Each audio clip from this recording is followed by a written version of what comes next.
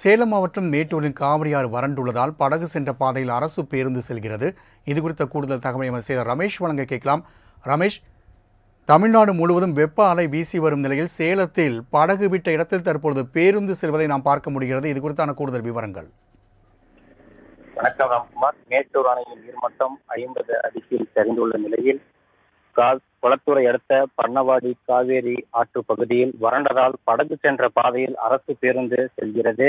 காவேரி நீர்பிடிப்பு பகுதிகளில் மழை இல்லாத காரணத்தால் மேட்டூர் அணைக்கு நீர்வரத்து நூறு கன அடி குறைவாகவே வந்து கொண்டிருக்கிறது. நீர் வரத்து சரிந்த நிலையில் அணையில் இருந்து குடிநீர் தேவைக்காக வினாடிக்கு ஆயிரத்தி நானூறு கன அடி வீதம் தண்ணீர் திறக்கப்பட்டு வருகிறது.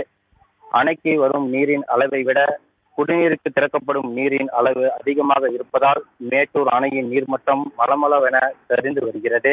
கடல் போல் காட்சியளித்த காவேரி ஆற்று தற்பொழுது வறண்டு காணப்படுகிறது. சேலம் மாவட்டம் மேட்டூரை அடுத்த கொளத்தூர் பண்ணவாடி பரிசல் துறையில் இருந்து தருமபுரி மாவட்டம் நாகமரை பரிசல் துறைக்கு செல்ல காவேரியை கடந்து செல்ல வேண்டிய உள்ளது. இந்த நிலையில் விசைப்படகு போக்குவரத்து நடைபெ இயக்கப்பட்டு வருகிறது. கடல் போல் காட்சியளித்த காவேரி தற்பொழுது வறண்ட நீரை போல காணப்படுகிறது.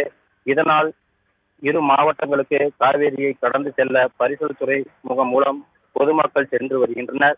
இதனால் அரசு பேருந்து பரிசல் சென்ற பாதையில் பரிசல் துறைமுகம் வரையும் அரசு பேருந்து இயக்கப்பட்டு வருகிறது. இதனால் ஏராளமான சுற்றுலா பயணிகள் மற்றும் பொதுமக்கள் படகு மூலம் ஆற்றை கடந்து வருகின்றனர். அணையின் நீர்மட்டம் வெகுவாக சரிந்து வரும் நிலையில் அணை நீர்மட்டம் சரிய சரிய படகு போக்குவரத்து மற்றும் பேருந்து இயக்கப்பட்டு வருகிறது ராம்குமார். ரமேஷ் தகவலுக்கு நன்றி.